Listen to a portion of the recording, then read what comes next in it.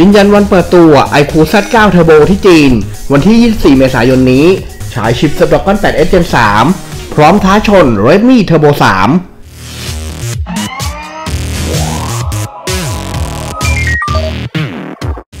ก่อนหน้านี้ทางจายจิงดอง รองประธานของ vivo ได้ประกาศอย่างเป็นทางการว่า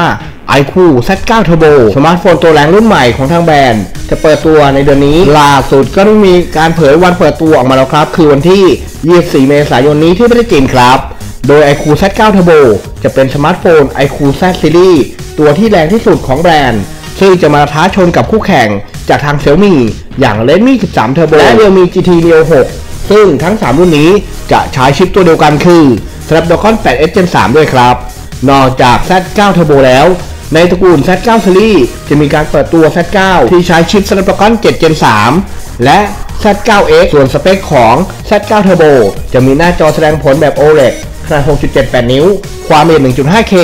144 Hz 2160 Hz PWM Dimming และรองรับการสแกนลายนิ้วมือบนหน้าจอไอชิปประมวลผล Snapdragon 8S Gen 3 มีแรมเลือก 12 g b กับ 16 g b เป็นแบบ LP Data Fake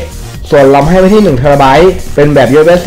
4.0 รันบนระบบเป็นการ Android 4 ครอบทับด้วย Origin OS 4 ให้กล้องหน้าความละเอียด16 ล้านพิกเซล ส่วนกล้องหลังจะเป็นเลนส์หลัก 50 ล้านพิกเซล และเลนส์ ultrawide ความละเอียด8ล้านพิกเซลครับ